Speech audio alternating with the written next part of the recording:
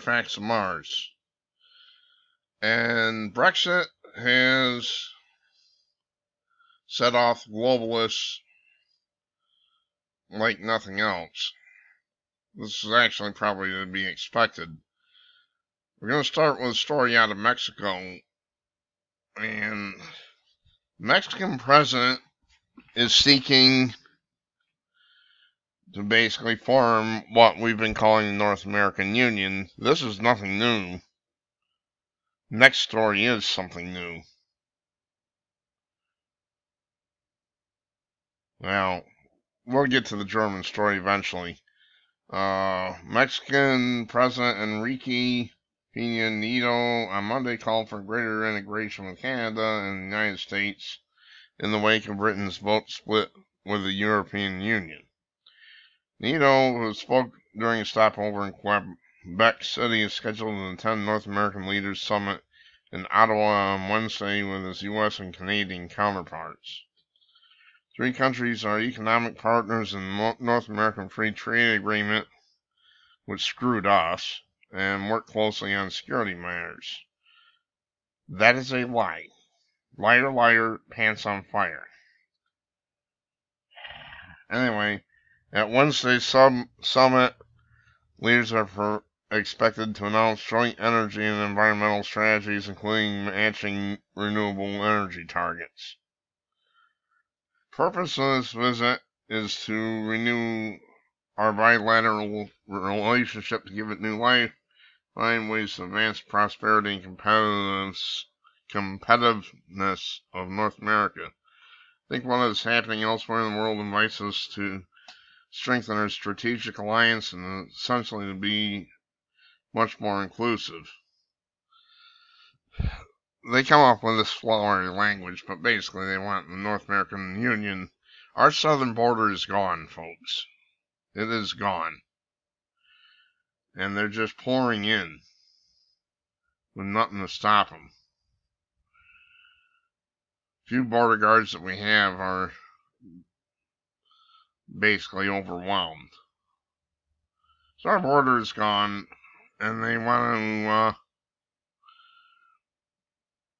ba- they basically want North American Union. I mean, they'll call it whatever they want, and they're not going to do it all immediately, or there would be revolt. But that's what they want. Now we'll go to the next story. Normally, I don't use Express UK for anything, but I've checked around. This story's for real. Um, what we have here is that Germany, and by the way, Germany denies this. Germany wants a big super state. Basically, wants all the, they want all the uh, members of the European Union that are left after Britain pulls out maybe Britain too, they wanted to basically lay down their arms and uh, become part of the German superstate. You think this wasn't planned a long time ago? Give me a break. Now, if I'm in one of these European countries And I heard, oh, we want to dissolve our armies. Want you to dissolve your armies and we'll take control. Uh, that army's going to be ready to fight right away. If you Europeans don't see this as a threat, you're stupid. I don't know why there hasn't been alarm and shockwaves all through Europe. Germany denies this, by the way, but uh, it came from Poland foreign minister that they're planning this. Lay down your arms and uh, we'll take charge of your country. Screw you! Basically, they want one country, one big European country, under the control of Angela Merkel, who is an evil, evil witch.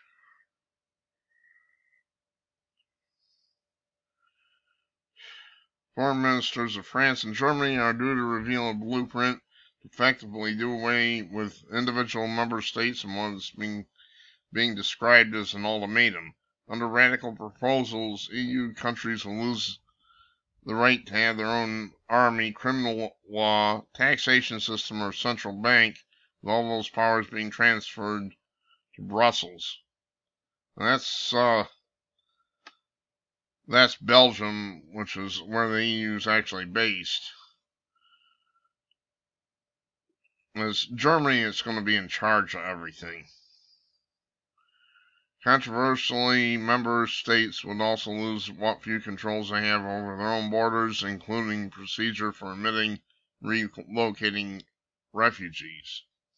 The plot has sparked fury and panic in Poland, traditionally an ally of Britain in the fight against federalism, after being leaked to Polish news channel TVP Info. So, basically what's happening is a super state's being formed, more likely under the control of Germany. That's what they want to do. Public broadcaster reports that bombshell proposal will be presented in a meeting of the Visegrad group of countries made up of Poland, Czech Republic, Hungary, and Slovakia by German Foreign Minister Frank Walter Steinmeier later today. In preamble to text, two ministers write, Our countries share a common destiny and common set of values that give rise to an even closer union between our citizens. Gee, that sounds familiar. We will therefore strive for political union in Europe and invite the rest next Europeans to participate in this venture. Meaning, lay down your arms, we own you now. Okay, it sounds like the uh, Anschluss in 1938, now doesn't it? The Anschluss between Germany and Austria. Dirty little secret was, is uh, well, it's not secret, but if you look it up, Hitler was Austrian. He wasn't German.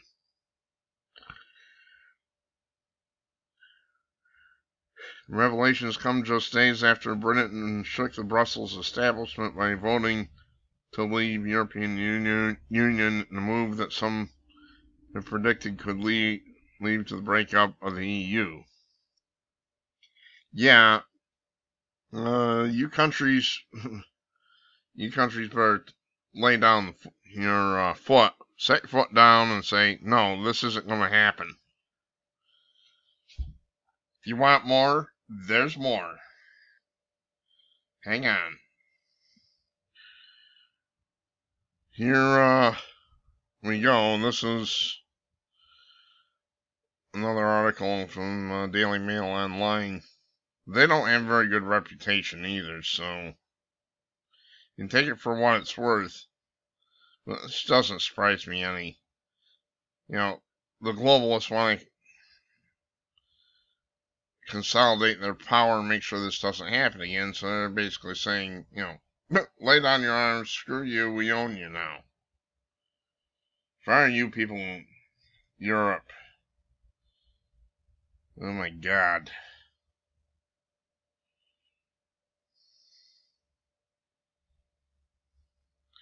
Plans have been leaked by, to a Polish television channel and the country's foreign minister WW pictured as is said to be outraged uh, is said to be outraged. I would think so. I'm not going to try and pronounce his name. You want more? Get ready for part two, and you're not going to like this one.